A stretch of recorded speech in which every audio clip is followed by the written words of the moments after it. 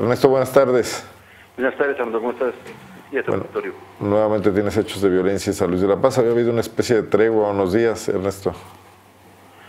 Sí, Armando, eh, tuvimos como una semana y media de tranquilidad acá en San Luis de la Paz, sin embargo, desde el día miércoles, bueno, regresaron los hechos violentos, el, el día miércoles se reportó el hallazgo de una persona baleada en una comunidad que se llama El Toreador, Arnaldo.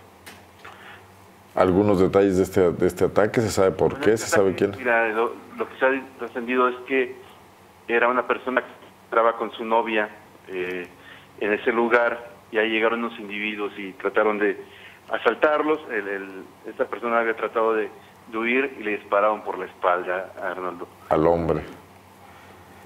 Él solo lo, lo- lo- lo atacan a él.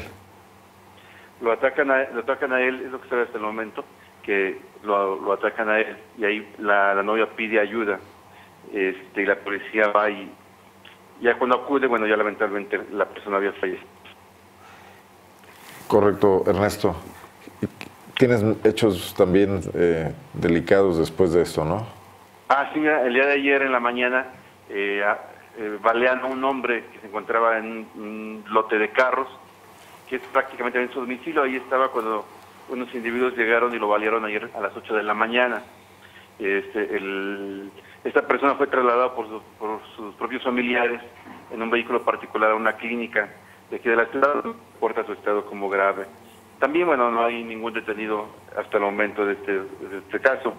Posteriormente, a las 3 de la tarde, este, asesinan a otro hombre en la comunidad Misión de Abajo. Eh, esta persona es del Estado de México y se encontraron 16 casquillos de arma de fuego en el lugar donde fue localizado Arnoldo. O sea, lo, lo, lo- lo rafaguearon. prácticamente lo refaguearon y al parecer la persona eh, estaba aquí con algunos familiares, aquí muy cerca de donde fue, fue asesinado, por lo que se presume que habría sido sacado de, de su casa para asesinarlo unos 200 metros más adelante, entre unos matorrales. En San Luis de la Paz de nueva cuenta. Eh, correcto, Ernesto. ¿Algo más que agregar? No, pues este, las autoridades siguen haciendo mutis, Arnoldo, en el tema de la seguridad. Eh, se limitan a decir que es el mando único quien eh, está a cargo y se niegan a dar declaraciones respecto al tema de la seguridad. Un mando único que depende de las fuerzas de- del Estado, de las fuerzas de seguridad del Estado. Ahí no ha entrado el mando único militarizado aún. No, aún no. Todas son las fuerzas del Estado, Arnoldo. Correcto, Ernesto. No, te agradecemos el reporte. Muchas gracias. Estamos en contacto. Parece que no logramos contactar a Edith Domínguez.